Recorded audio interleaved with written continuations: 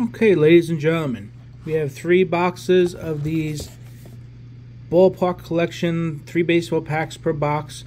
One in four boxes contain a hit, and of course, me being a bright guy, I bought three boxes. So can't even say if you don't get a hit, you know, it's against the averages. I just wasn't bright enough to uh, purchase that fourth box. But you know, what are you gonna do? I saw these at Walgreens. I just picked them up, just like that. I believe they're about 12 bucks a box. Um, actually boxed up pretty well here. Just trying to get it open. With me one second. Got a scissor now. And still probably damaging stuff on the inside here. No idea what kind of packs. I'm assuming very little value. I'm assuming very little upside to it. But hey, three packs open or three packs open per per thing.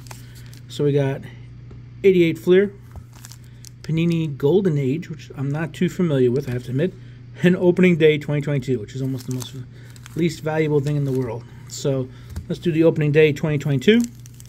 Hey, maybe I could pull a Wander Franco, right? That'd be that card. That card's a good investment. I don't know those people happy who, who invested hundreds, if not even thousands of dollars in the Wander cards. Probably never going to play again was the latest rumor. I thought I just pulled a Wander uh, with the colors.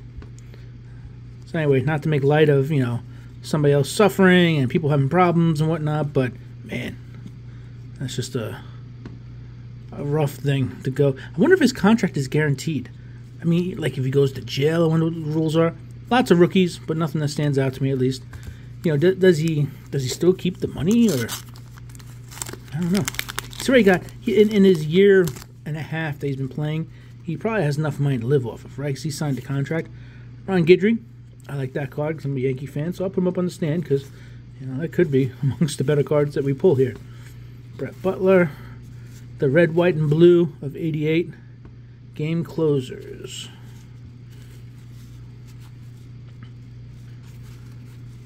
Paul Molitor, I'll put him on the stand too because you know it's Paul Molitor.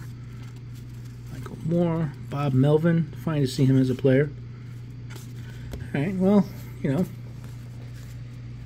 the one thing with these boxes, last times you get repeat packs. So I'm, I'm expecting opening day, 88 Fleer, Golden, again, Golden Age, Panini, six trading cards.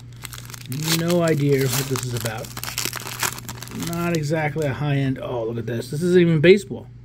Doesn't this ballpark collection, shouldn't this be a baseball pack? No, no. And my day is ruined. Somebody, King Tut's tomb. Hey, Josh Gibson, worth nothing.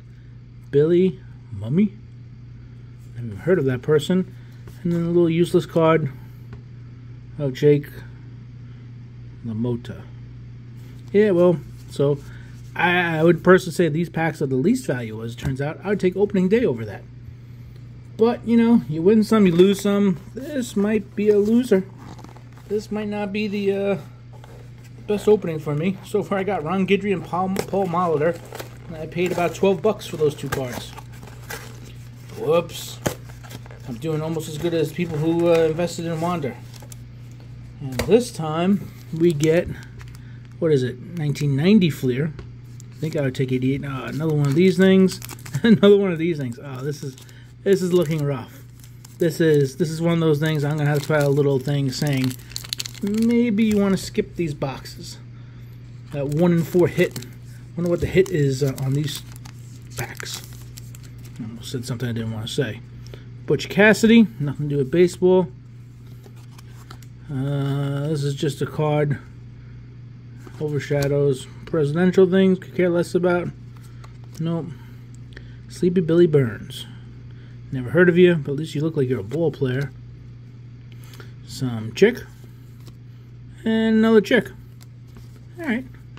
I don't think I've ever said chick twice in the same uh, same day. And for some reason on video I decided to say chick a couple of times. But what are you going to do? What are you going to do? Hopefully my mother isn't watching. And she is. She don't care. Nelson Cruz, I don't think. Miguel Cabrera. Gerrit Cole, probably the Cy Young Award winner this year on a on a below 500 team. Bomb Squad. Zack Wheeler on my fantasy team. He's done well a couple of seasons in a row. Verlander, still in that Astros uniform. Let's see. This is the big pack. I, I feel like really I'm basically paying 12 bucks for each one of these Fleer packs. Talk about a, a racket. This was not the, the wisest wisest of decisions here, but sometimes you gotta take a bullet. Ah, I was hoping that was a Joe Girardi. I was always a Girardi fan. Benito. Bobby Rose. Not the Rose I was hoping for. Randy Ready. Randy Ready. That's a cool name. Andy Ready. Sounds like, you know, uh, could be a movie name, could be a adult movie name. Chuck Finley. How's Chuck doing at this point? 16 and 9. He's just doing okay. Well, so far, Ron Guidry and Paul Mahler. best cards I got.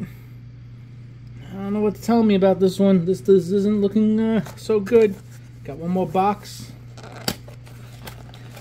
I don't get a hit or something that's worth, you know, something. Let's see. Well, at least I get the 88 packs again, which I personally prefer. And again, two absolutely borderline worthless Maybe not even borderline. Maybe they just are.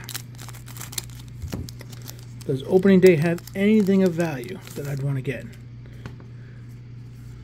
Maybe at least I can get a player that I care about a little bit. Opening day, Oakland, Oakland Athletics. Nice looking card, but Alvarez, McNeil, Belt, not a thing. This pack feels a little thick. Maybe there's like a relic type of thing. I, have known these kind of packs to have that kind of junk in it. Yeah, something a little thick at least. So, I mean, might be stretching to call it a hit, but another Billy Mumy. That's just great. Bonham. And not a hit. That's just the way this is going to go, huh? A blank board. Just waited to fool you out. That's what I got from my hit. That's so funny. I'm going to put that up here as a hit. Because that's just, that's a $30. Look at this. A chick. might as well be a chick. What in the world? It's that guy who's a, uh, I'm gonna say midget, little person, short person, whatever. He tried to bat. That's just great. Get me all excited. I think I have a dopey little relic, somebody's shirt or something. They give me a white piece of board. All right, 88 Fleer. If I can get the, uh, I don't know, Vince Coleman, Roger Clemens. I mean, hey, I like Vince Coleman. I'll put him up on the board saying I don't have anything else. And Clemens, I'll put up on the board because we ain't got much else here. Doug Jones. Ozzie Guillen. Is that a rookie? Don't look like it. Shelby. What do you say? Can we get one good card? Is it possible? Curtis Ford. Well, so for about $36, let me show you what I got for $36. $36. I got myself Roger Clemens, Vince Coleman, Ron Guidry, Paul Molitor, and uh, Whitey here. Nice little whiteboard. It's actually, I mean, it is probably the most valuable thing I have. I don't really use those card blockers to like slow roll the the uh, the reveal. But still, that is pretty hard. So let me show you this, what I think is a piece of trash. Ballpark collection, three baseball packs, one in four boxes have a hit. Um, highly recommend not going for these. This is just the Fairfield Company. I know they put out a lot of stuff. And I always get it whenever they put out new boxes and stuff like that. I always get a couple just for the sake of getting it. But let's be fair. $12 a piece, $36 for what we just got. I mean, it's not even. I, I don't know how you could have gotten your money back. Like, with those packs, there, there was nothing in those packs that I'm aware of that could add up to the value of what I paid for it. So it's just just a losing proposition. There, how much money do they make? The the 88 Fleer, what do they cost average out to? A buck a pack. Um, same thing with that Panini thing, which was useless, and same thing with opening day. So they put less than $3 worth of cards, I bet, when you buy them in bulk. And then how much does a cardboard cost? Uh, let's say the cardboard boxes, which are very nice boxes, and they're thick and, you know, all that kind of stuff. let's say these boxes run two bucks a piece, five bucks, and they sold it for 12. So they're making 130% profit almost, 125% profit. Not bad, Fairfield, but, you know, I'm not going to curse. I'm not going to be like that. Having a little rough time. The Yankees are doing bad. I'm not pulling some good cards anymore. But there's always the next bowl. Thanks for watching. If you hung in there, hey, if anyone wants to trade me for uh, for Whitey here, just let me know. You know, we could work something out. Maybe you got a paper clip or something you want to trade with me. Just let me know in the comments. Appreciate you watching. Talk to you soon. Took a bullet for you guys. Thanks. Go Yankees. Actually, go Yankees should lose. What am I talking about?